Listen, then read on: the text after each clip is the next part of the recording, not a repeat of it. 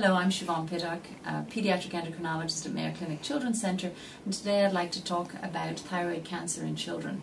Cancer is a scary word, it's a scary word for everybody, um, but thyroid cancer um, doesn't need to be as scary as other cancers if treated appropriately.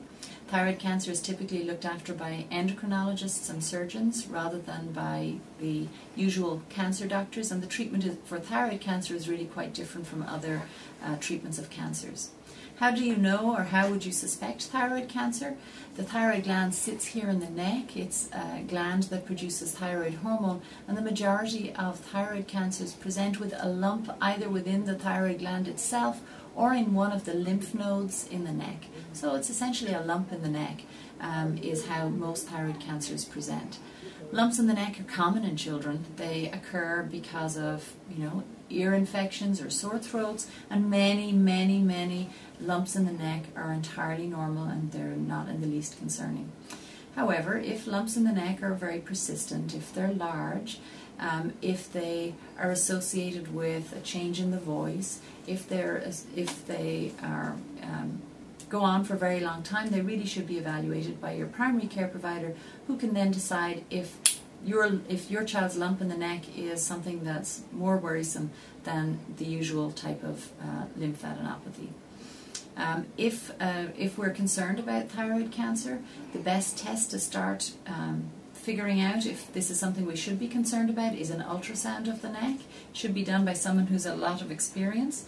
Um, cancers in the neck look different from uh, regular lymph nodes. Um, lumps within the thyroid gland themselves, we call those nodules, are very, very common in adults. Many, many adults have what we call benign or harmless nodules in their thyroid gland by the time they're 50 or 60 years of age. Nodules in children are not quite so common.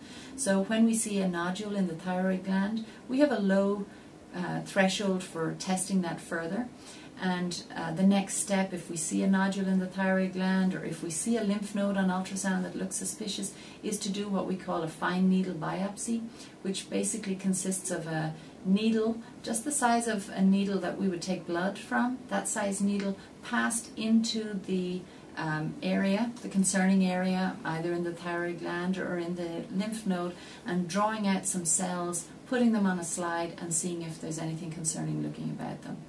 Teenagers often do this without any anesthetic. Younger children sometimes need a little bit of anesthetic. Um, if thyroid cancer is diagnosed, the treatment is essentially surgical to remove the thyroid gland. It's very important to work with a surgeon who is very competent in removing thyroid glands. There are a lot of very important structures in the neck which can be damaged um, if, uh, if you, an inexperienced surgeon takes out the thyroid gland. And then sometimes after the surgery, some additional therapy is needed, like radioactive iodine.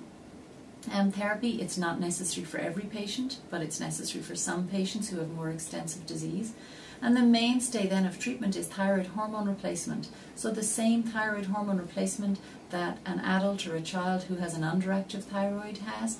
It's not chemotherapy, it's just a hormone. Um, we place patients on that for life. Um, and then follow-up um, is accomplished by checking blood tests, by your endocrinologist having regular physical exams, feeling the neck, and also regular ultrasound exams of the neck. There are some newer modalities of treatment uh, that we rarely have to resort to, things like ethanol ablation, um, and those are also available at specialized centers. So thyroid cancer is a cancer. It does not need to be as scary as other types of cancers, um, but it is important that if uh, thyroid cancer is diagnosed or if there's concern for thyroid cancer that appropriate testing happens so that treatment can occur as early in the course as possible.